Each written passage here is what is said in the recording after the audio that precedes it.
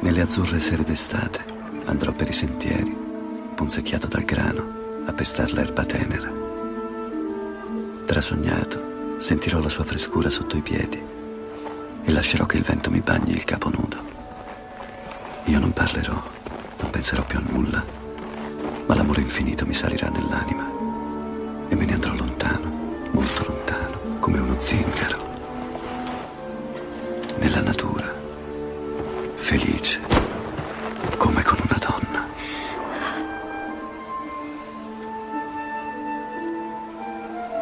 A cosa stai pensando, Corto? Ad Arthur Rimbaud, un poeta francese. In questo momento non riesco a pensare ad altro.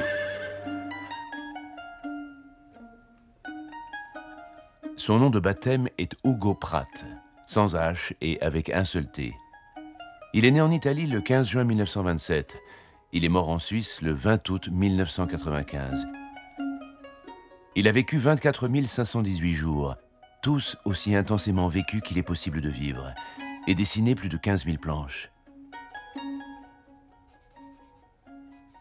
Son histoire est celle d'un homme qui a créé un héros, et c'est l'histoire d'un héros qui a marqué le début d'une ère nouvelle de la bande dessinée.